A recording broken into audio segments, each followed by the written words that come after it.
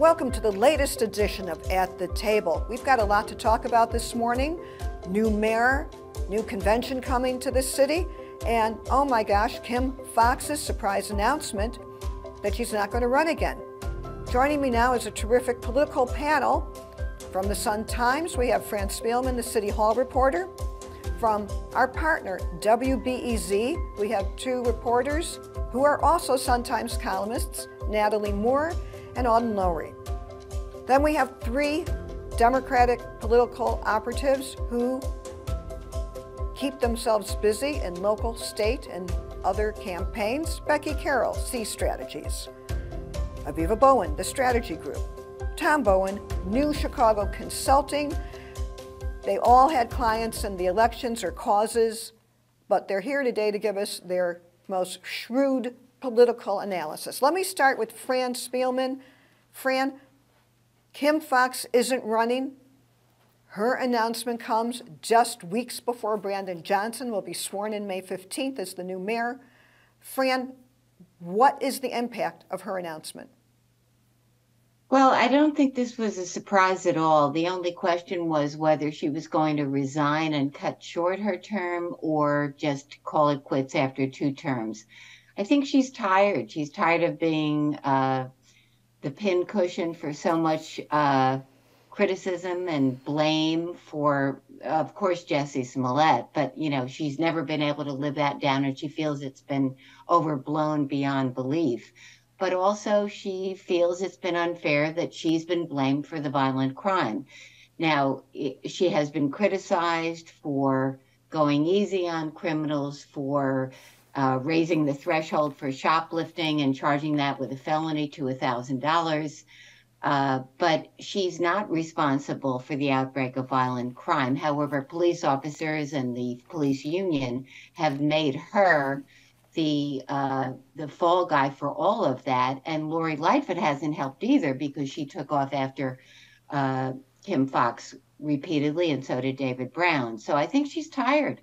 I think she's had it and who knows what she's going to go on to but she's she's finished doing this. So alden in april 8 column our headline was no one has all the answers to chicago's crime problems. So kim foxx who is part of the restorative justice uh, group of prosecutors who were elected in some big cities in the united states uh, have put on the table a different way of looking at crime and prosecutions. So her announced departure comes as Johnson is coming in with crime a number one issue. So who's going to have the answers, Alden? Well, I, I, I don't think any of us have a definitive answer. I mean, that was the the the kind of the point I was trying to get across there. Uh, I do think that Kim Foxx, Brandon Johnson, and uh, a number of others have put forth what they think are more effective approaches. And I think there's something to be said about some of the things that they've talked about. They highlight the inequities, they highlight uh, uh, the fact that uh, an over aggressive uh, strategy, both in terms of crime fighting and also in terms of prosecution, may cause more harm than good and may sweep people into that um, that uh, should raise questions for us in terms of the validity and the effectiveness of that strategy. But even coming from that restorative justice side, there's still a lot of questions about the things that they've put forward, if those themselves are really going to get us to where we want to go. Um, it's a conversation, and it's a conversation that I think uh, has been going on and should continue. The thing I think about Kim Foxx's departure that I find really notable is, and Fran speaks to this, uh, the fact that she was tired. She was beat up incessantly uh, during her time in office.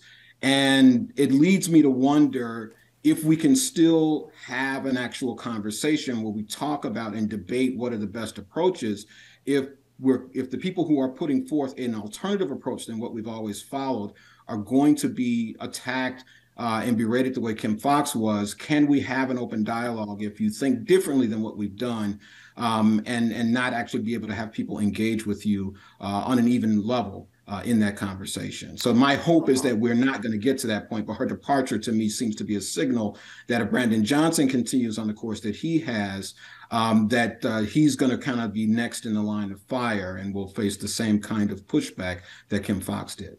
So Who wants to answer this one? Should Brandon Johnson and the CTU that backed him, the newest political machine in Chicago, are they, should they, will they, do you think, get behind a candidate for state's attorney, do it early, and try to elect someone? And you all know Brandon Johnson a lot better than I do. Is he the type of mayor elect who, as mayor, will want to have a say in figuring out and trying to elect the next Cook County State's Attorney? Okay, if I don't hear from anyone, Tom, I, uh, well, okay, I good. think he'll leave that to County Board President Toni Preckwinkle, Aha. his patron also. She's Good the point. one who controls the budget of the of the Yeah. state's attorney's office. She's the one who handpicked her chief of staff and Kim Foxx to be this state's attorney and the activist state's attorney that she has been.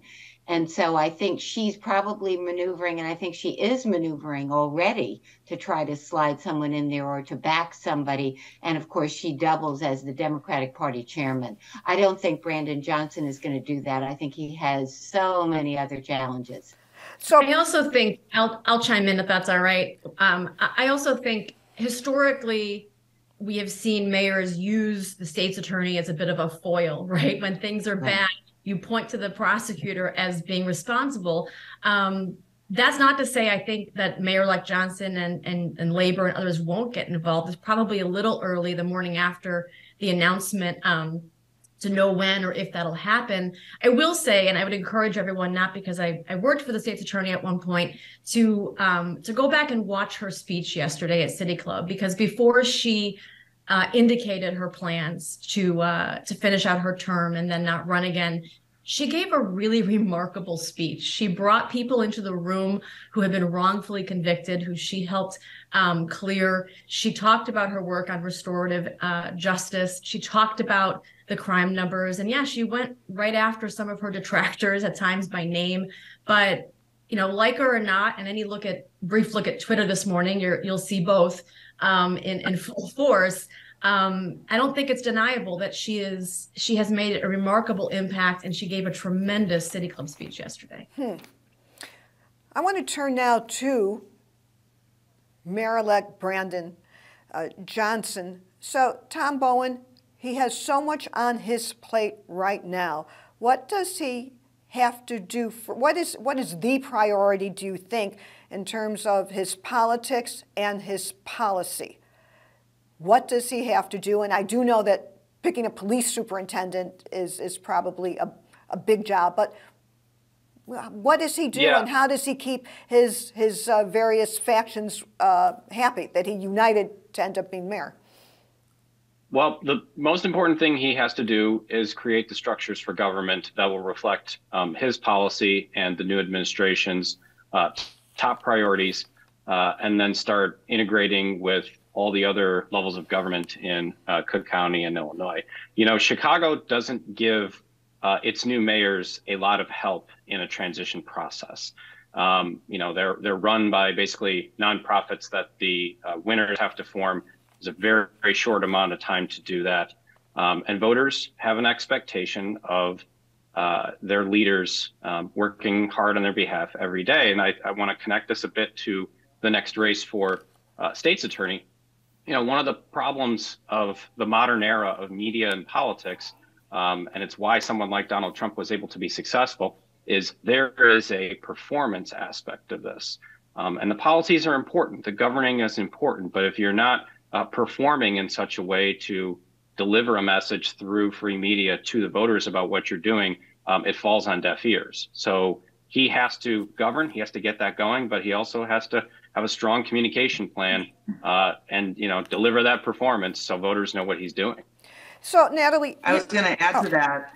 Becky? I was just going to add to that that you know, uh, mayor elects these days, and I think for anyone who's new to office, the honeymoon period is much shorter. I think some time ago, maybe folks were given like a year to kind of settle in, uh, you know, figure things out, and that's just not the case anymore. And Mayor-elect Johnson is going to be coming in right on the heels of the summer when crime is going to spike. And for any mayor, that's going to be always a tremendous challenge. So having that leadership team in place um, is going to be really critical. Uh, it's beyond, you know, knowing where the bathrooms are, right? It's it's really having people in place who are going to be able that you can delegate to so he can focus to Tom's point about the kind of performance part of it. He's going to have to continuously communicate to voters uh, what he's trying to do to ensure that he's going to keep the city safe with, you know, very high expectations, I think, heading into office about what his approach is, is going to be. So, Natalie, you wrote a column that had a headline After a tight race, the black political establishment may face uh, a, a, reckoning here. So, Brandon Johnson is coming into a city council with, uh, what, 14 new aldermen. Uh, maybe they're going to feel more empowered, maybe not. How, what's, what's, the, what's, the, um, what's the approach that you see developing in, in your analysis for the incoming mayor? there appeared to be a disconnect. Well, there was a disconnect between what voters, largely on the south and west sides and the black wards, won it, which was Brandon Johnson, versus some of the alders who decided to go for Vallas. Um, I think that there was a combination of, of reasons. Uh, I think people want to go with who they perceive as the winner. And some of those alders might have thought, well, I can bring, um, you know, a tre- treasure trove back to my community um, I also think that Paul Vallas knows how to uh, glad handle mm-hmm. and probably made a lot of promises to people um, for in exchange for their support. Um, I don't know that a bunch of alders are going to get kicked out of office because it's four years from now that that they would be um, reelected. But I think that they should take notice that whatever their reasons were, for going for Vallas. Um, their constituents did not. And so, how do they? I, I don't necessarily, Brandon Johnson has not um, come off as someone who is vindictive. So, I don't necessarily think that he's going to withhold resources from the eighth ward, the ninth ward, for example. But what are those relationships going to be like with those alders um, as he keeps his promises um, and is how the the elected, the city council members decide how they want to play ball. Ah, and it's so, Fran, you have seen many new mayors and many new city councils. Will the aldermen, alders, excuse me, will the alders, as you, Natalie, I think that's the, I like that. It's a nice gender neutral way to say it. So and I'm going to use this. And it's shorter. will the alders, which could be the name of a new Chicago sports team, if we have a new sport. I play for I play center for the Alders. Uh, but anyway, Franny, you have seen mayors come and go and city councils that try to be strong councils and weaken a mayor. Uh, what's your analysis of who's going to show up wielding the gavel? Is it a strong mayor, a conciliatory well, mayor? Well, the what? mayor is Mayor, Mayor Johnson has to make a decision quickly about whether he's going to mess with the city council reorganization that the alderman decided to put through before he even got in. Uh, four years of tension with Lori Lightfoot and her dictatorial style and her, you know, her high-handedness and arrogance. They believe. Um, remember some of the the episodes where she said, "Don't ask me for a blank." If you don't vote for my budget, she told the Black Caucus. Um, things like that uh, caused them to reorganize themselves. A lot of it was self preservation. It was led by three of the aldermen who were. Uh, backers of Lori Lightfoot who went on the wrong, who chose the wrong horse in the mayor's race. So the mayor of Chicago is going to have to decide does he mess with this reorganization that has 29 committees? I mean, 28 committees, nine more than mm-hmm. before that we didn't even need in the first place. The 19 was were too many. A lot of them didn't meet. Is he going to mess with that? Is he going to put his own stamp on it? Is he does he want some of his own loyalists in some of these so, very key positions or is he going to leave it alone and move on to the D- bigger does he have to, that he needs? Does he have to decide this right away?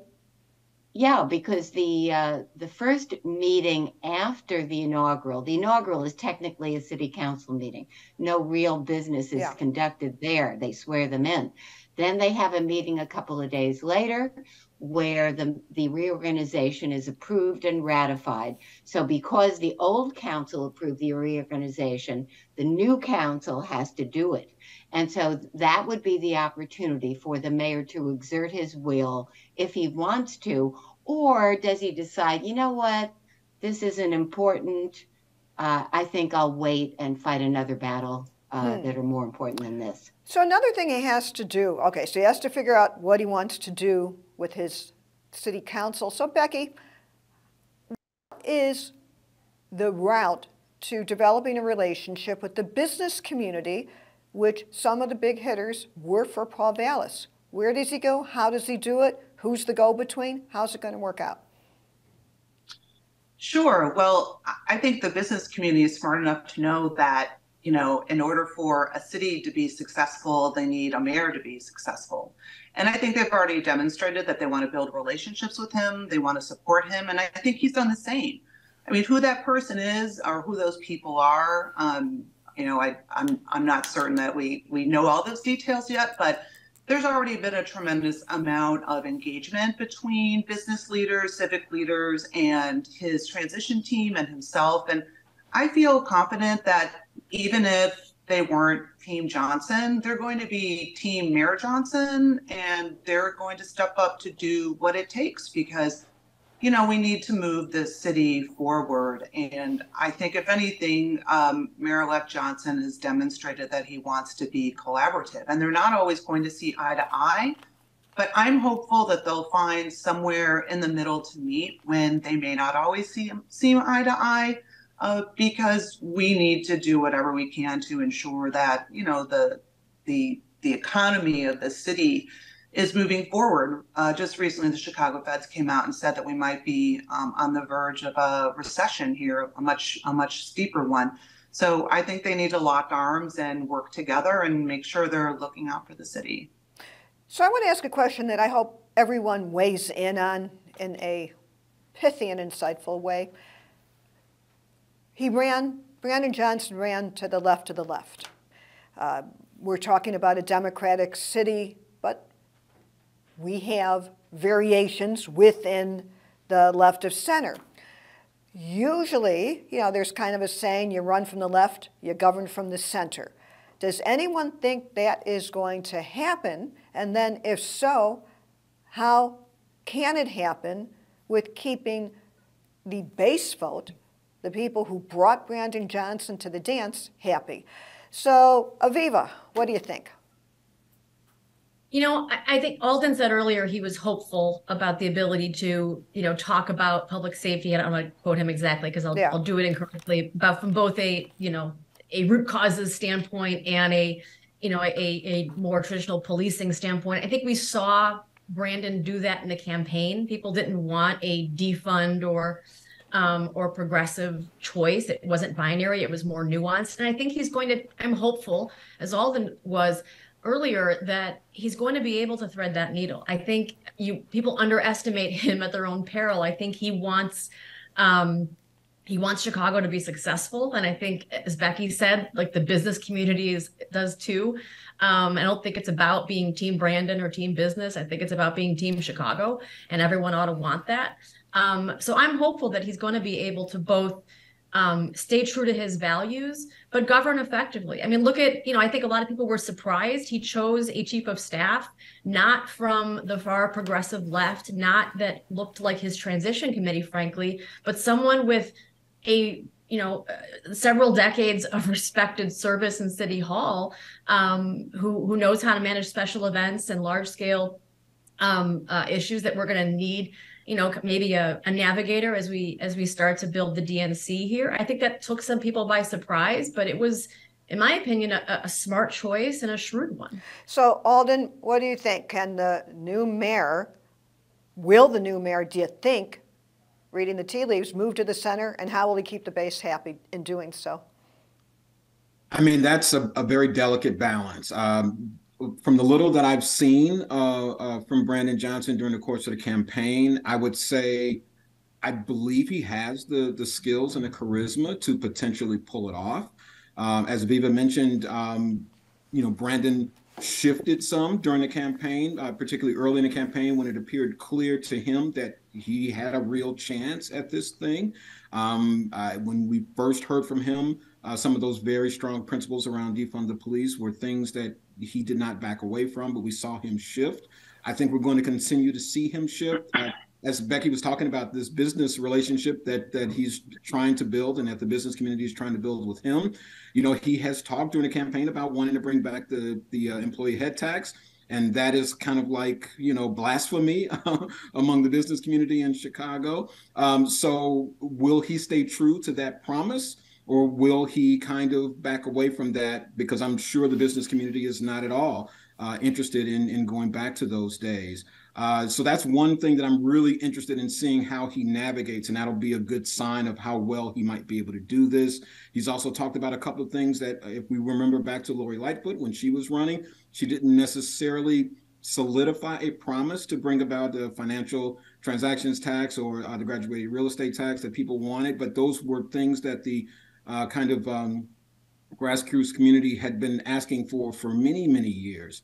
Um, and she at least entertained, at least committee gave the impression that she would be open to those things. And once she got in office, we saw her very clearly uh, step away from from those positions. So I expect to see uh, Mayor Johnson do some similar moves. The question is, how well can he kind of maintain the relationship with the people who got him into office and letting them know, hey, my overall strategy is this. There's going to have to be some give and take here. And then how well will he be able to communicate with the folks on the business side with the folks who are in the parts of Chicago who are really demanding a very aggressive approach with regard to crime.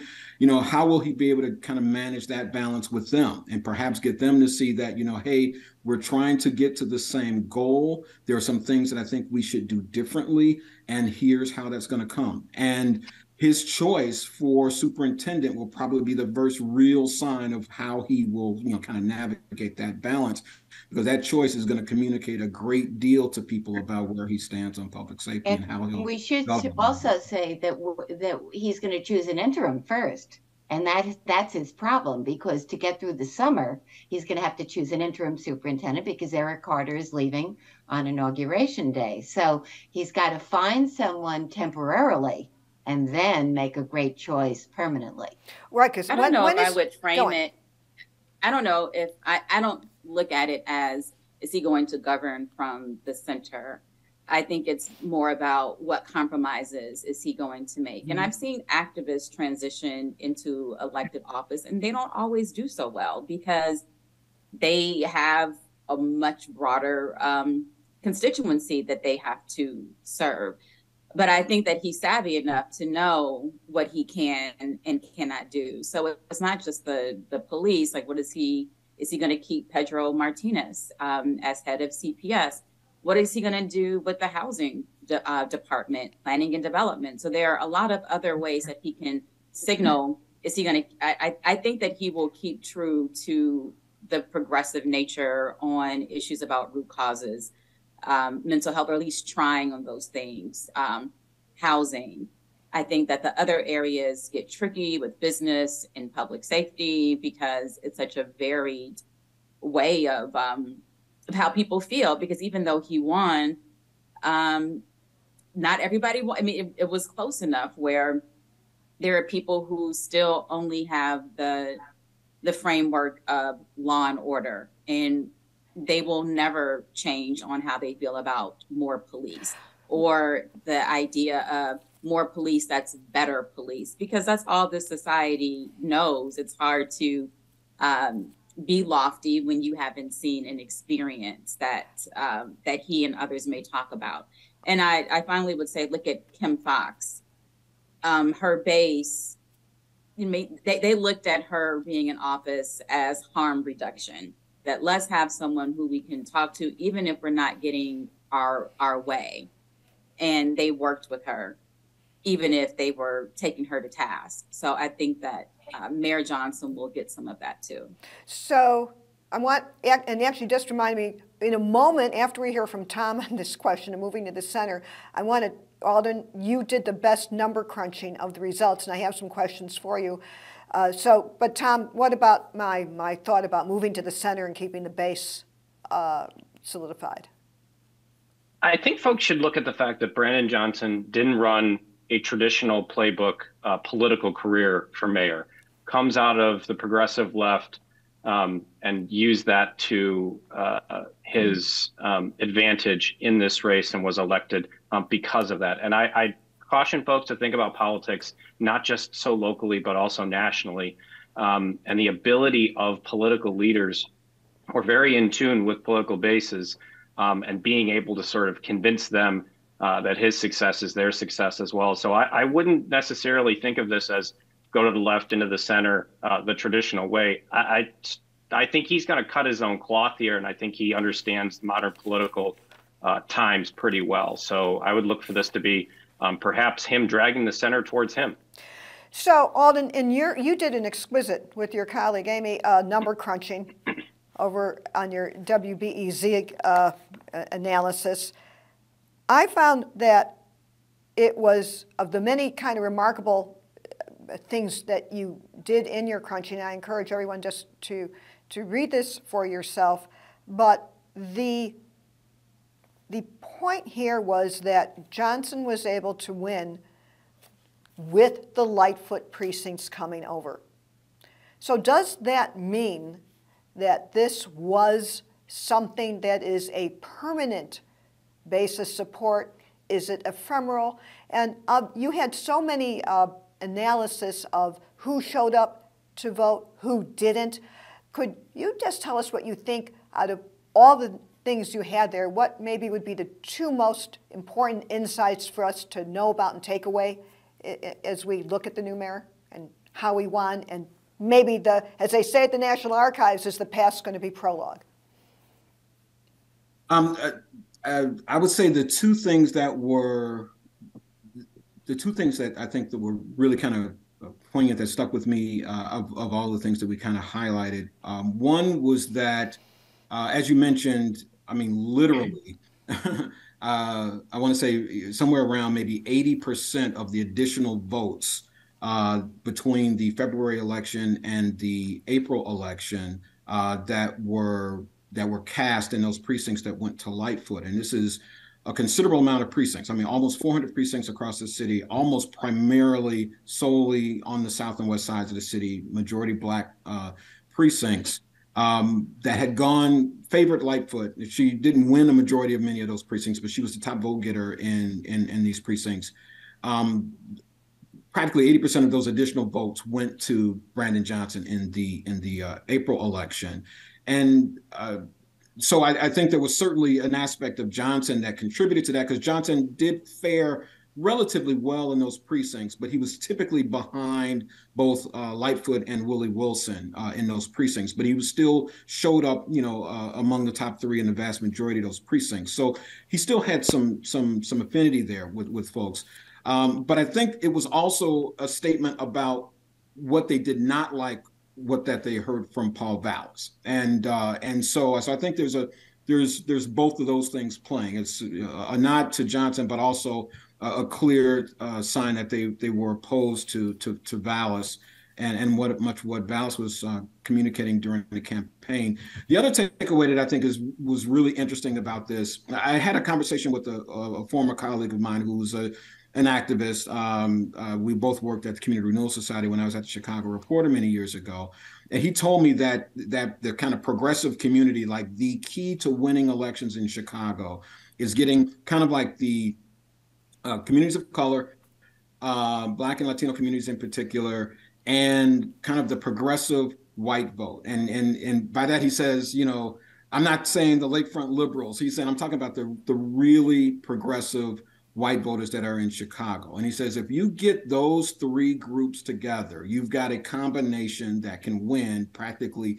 any election in Chicago. And to some degree, that's what Brandon Johnson got. He got votes uh, in the far north side, uh, those racially mixed communities uh, in Rogers Park, Edgewater, uh, Uptown. He didn't get the, you know, part of what had been considered the lakefront liberal crew uh, in like Lincoln Park and Lakeview.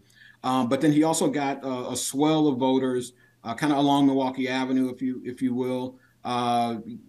precincts that include a lot of kind of younger yeah. white progressive voters. Isn't um, there a name for, for that? Is it hipster corridor or something like that? What do they call it? I that? think that's a that's a term, yeah, that's been Yeah. thrown around. So so he vote. I, I- he Yeah. got he got um he split the vote in Latino precincts, but but he dominated in black precincts, and then he got a sizable number of votes in those areas I talked about on the north side and along the, the north lakefront. So those were the two things that I think really kind of kind of came away for me as the strongest points uh, that we saw in that April election. And those white voters I are, I'm sorry, uh, Fran, go Go ahead. ahead, Tom. those white voters uh, in those uh, progressive precincts, um, I think, really turned out. You know, we it's going to be some time before we can see age data on the file, um, but those white progressive voters turned out in uh, huge numbers compared to previous runoffs. Um, and interestingly enough, uh, in the black wards, um, those numbers were down compared to previous runoffs. Um, I'm really interested to see if there's some pandemic effects in the black community. So I want to take a look at what's going on in past elections, you know, sort of ratios between black voters and white voters turning out. Um, but uh, uh, the volume of increase for those most progressive white wards um, was very substantial. One one one point I would say with regard to those black precincts, so, so the numbers were relatively modest in terms of turnout. However, what we had seen in previous elections was that um, when precincts went for the candidate, and this was both evident in 2015 and in 2019, precincts that uh, went for a candidate that did not make the runoff generally speaking, turnout, with the exception of the precincts that went for Willie Wilson in, in both elections, interestingly. But uh, but generally speaking, though the turnout in those those precincts would actually be would underperform in the April election. This time around, however, those precincts that went for Lightfoot in the February election, their turnout was actually a bit higher than it was in the runoff. And these are largely those black voters. So if that pattern in 2015 and 2019 generally holds, we would have expected to see a little lower turnout in those precincts in this April election, but we actually saw uh, a couple of percentage points higher. So to to that to that degree, those black voters who might have skipped because uh, Lightfoot didn't make it, they turned out and they turned out for Johnson. Again, the numbers were lower there turnout wise than they were in some of those uh, those progressive white precincts. But but that slight increase to me was an indication that there was at least some level of interest in this time not sitting out and coming out to vote. Yeah, and I think, you know, the numbers might not tell us this once we've had a chance to kind of break them down. But I think there were also two kind of a powerful combination going on in the runoff with what was a very polarized choice for a lot of people. You had Mayor like Johnson, who had like, you know, a, a progressive vision um, and enthusiasm. Like the base was enthusiastic to vote and vote. They were excited about him. They connected with his vision. And you cou- couple that with some real skepticism about Paul Vallas's bona fides and his in his own words, right? And and I think the Johnson campaign did a good job of shining a light. Um, and you don't have to do a whole lot. There's not a lot of finger on the scale here or thumb on the scale when you just say his own words. Hey, he's not supportive of abortion and he considers himself more of a Republican than a Democrat. In Chicago, that's not going to play. And so What's really interesting is that Johnson was able to run away from his own words about defund. There were plenty of his own words on that. But Vallas left such a trail of breadcrumbs on Facebook and Twitter Mhm. and on in his drive to be relevant when he was out of power. He was Right. so desperate for attention that he left a trail that was longer than imaginable for someone who planned to run for office again. It is astounding how he shot himself in the foot. He was But a look how far he got this time. candidate. Right. But he made the runoff with those statements. He didn't, what was he, ninth place before? So adopting this posture, whether, you know, he believes these things or he was just trying to be relevant, he he hadn't made it this far. So I think that we can't forget that either. Well, Right, but in a couple all that one-on-one, it's a totally that- different dynamic. you Becky? know? You know, so you have to couple all that with the fact that, you know, these are modern electoral times and you have to have a ground game and you have to focus on early vote and vote by mail. And Vallas did not have a vote by mail program and he's running against a candidate who, you know, probably rocked the ground game better than anyone in the history of mayoral politics. And then you know, you have an election that's in the middle of spring break. Who's off on spring break? Teachers are off. And then I think a lot of folks who were Vallas voters, they're on vacation with their kids. And to like be frankly that derelict in not having a vote by mail program. I mean, he deserved to lose on that alone from an operative, you know, perspective. That's Especially when you Yeah. consider the edit, that he had more money than God. He Yeah. had 18, No, 19 million dollars. What Right. did he do with it? It's inexcusable that he didn't have a mail campaign. I mean, look, he zeroed in on a real fear. I'm not discounting people's real fear about public safety here. He zeroed in on that. He went for a very singular message, um, and and really just like as Fran said, kept hammering, you know, the mayor-elect's uh, previous statements about defund. But you know, to where we started this conversation, I think voters demonstrated they want a more nuanced approach to public safety. They know it's going to take smarter policing, community policing, better policing, and they want to invest in mental health in communities that have been historically left behind and job creation. And I think that Brandon was able to talk about those things in a very compelling um, and believable way. And you know, in the end, a, a- a combination of things just you know, Vallas fell short. He was he was playing to fear, which is powerful. But again, Brandon had enthusiasm and vision, and in the end, that won out. So technically, Yeah, I Here's always why I wonder think what that- their Yeah. I was gonna say, I always wonder what the Vallas polling looked like, because I know folks like Aviva and I and Tom saw polling, to Aviva's point, yeah, yeah, voters are looking for something nuanced. They just don't want tough on crime. Fact, most people, they want to make sure people who are doing criminal acts are being addressed, but they want to make sure that we're addressing the root causes of crime. And I never really heard Vallas speak to that. And I think Brandon Johnson eloquently spoke to that uh, and spoke, he met voters where they were in that respect. we're almost I was we're going to add out. that. I wanted to. Oh, I was just going to okay. say quickly go that I think that in 2019, running away from defund the police would have been more um, damaging. But defund the police, even though it isn't accepted mainstream, it is part of mainstream discourse, and uh, that has to be taken into account. Which is why I think that he was able to distance themselves from that. Um, but again, four years earlier, I don't think that that would be the case. 2020 changed the conversation locally and nationally about defunding the police. New topic. I do have to also say Okay. that Brandon Johnson is a extremely talented communicator. Paul Vallas comes off like a professor, talking down to people. Brandon Johnson makes a connection with human beings. He does it very effectively. He also has a collaborative personality, unlike Lori Lightfoot, which could make him far more successful as a mm-hmm. leader of Chicago, rallying people to his cause. And on that, here's Yeah, Fran, you hit it on the head there. I think people are looking for something very different in the wake of Lightfoot. I mean, whether folks were with her or not, there was just a lack of that kind of empathy and connection with like everyday people and voters in the city. And Brandon certainly tapped into that. So I want to change topics. Democratic convention. Becky, I want to stick with you for a minute. You have been involved, and probably Tom and Aviva too have been involved in various aspects of conventions. Uh, what, Becky, hold the thought. Has everybody been to at least one convention? My first convention was in 1992.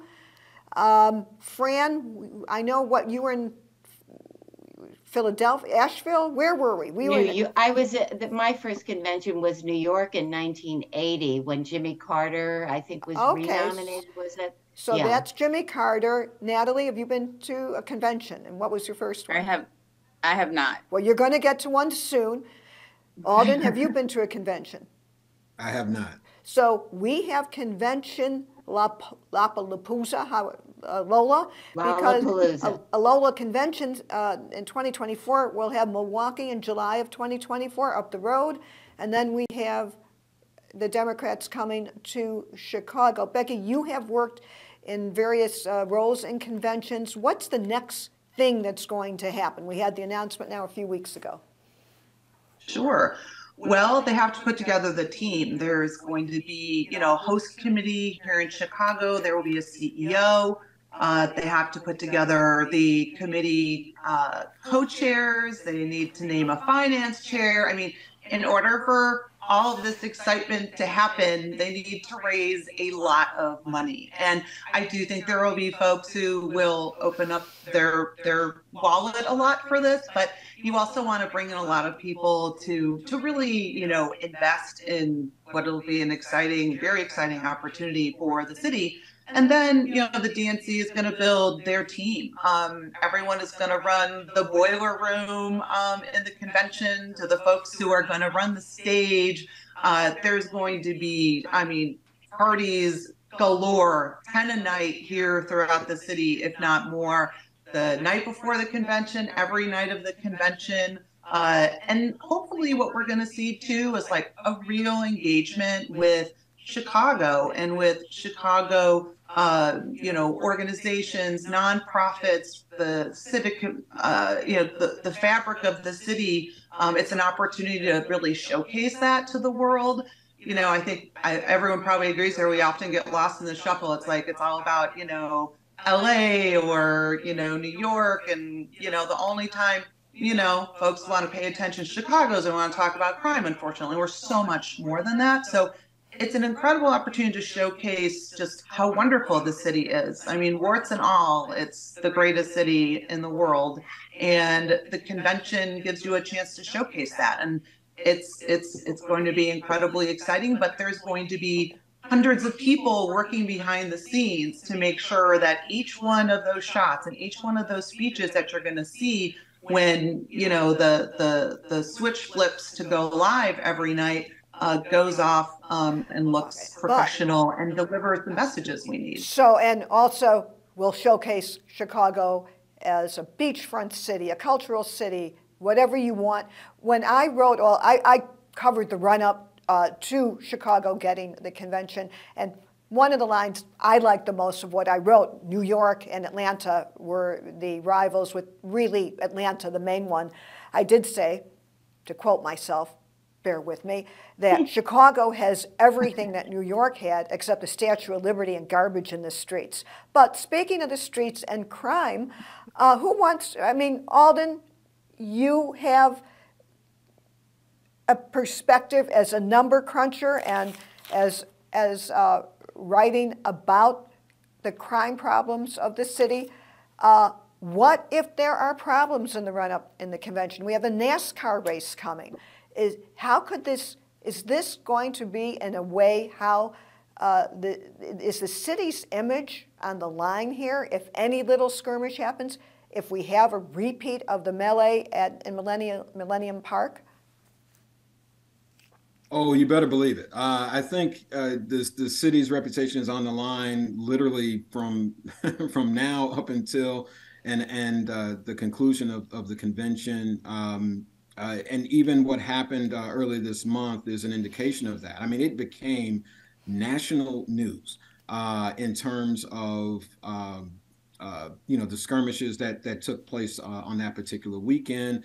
And there are going to be more of those. I don't know if folks remember, but it was a few years ago. There was a similar kind of night uh, that took place downtown with a lot of teens, uh, and there was just this boatload of a reaction. And I think that weekend was actually more severe than than the weekend that we just experienced.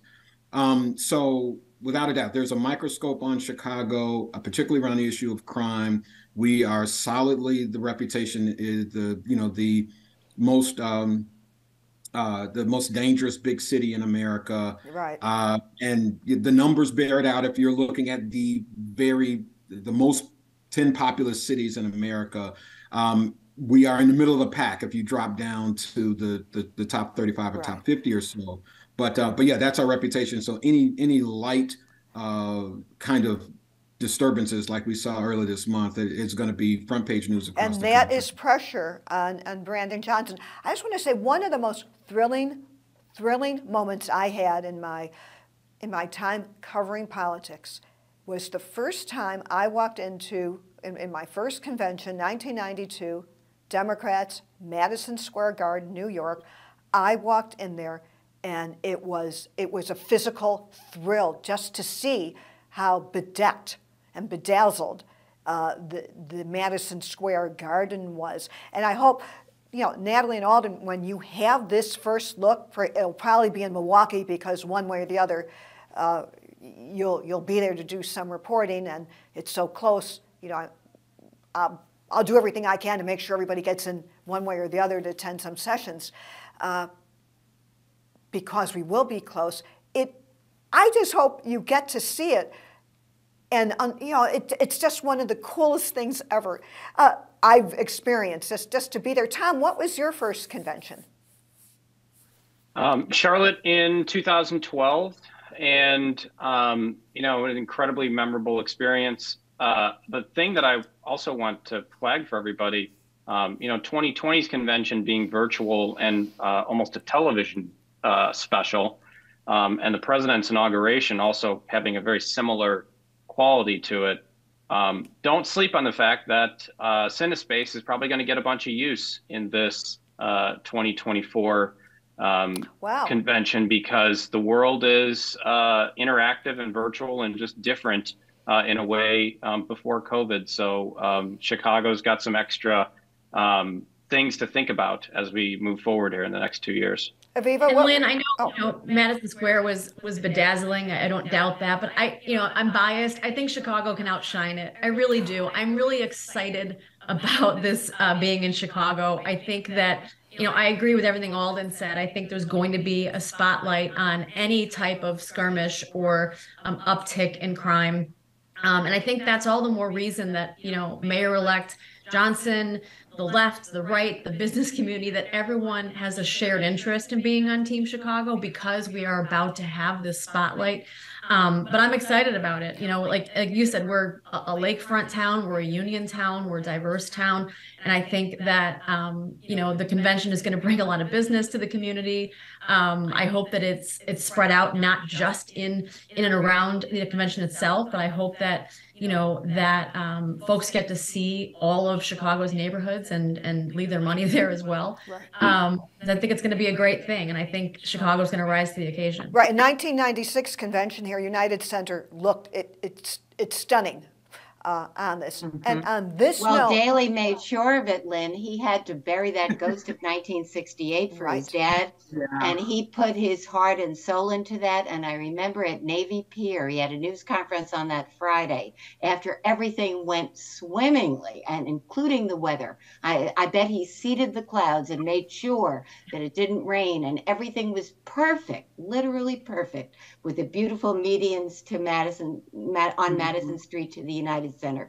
And when he looked up at the heavens and said, "Dad," it was like he was saying, "Dad, I I, I fixed it." I rewrote the script for you. And so uh, Chicago was perfect. And we can only pale by comparison because it was so in perfect. 96, right. And on that thought, we're going to wrap up because I'm sure in the months ahead, we will be doing many at the table convention uh, segments and shows because there is just so much uh, in, involved in it to explain to the city, to kind of share what we see and learn on, on the road to the convention, which this week was marked by Joe Biden's official announcement of a reelection, and Senator Tammy Duckworth is one of the co-chairs, and J.B. Pritzker's former top political advisor, Quentin Fulks, is the deputy campaign manager. So we'll have lots to talk about in the future, but for now, I want to thank this great panel for sharing all your insights and analysis on this latest edition of At the Table.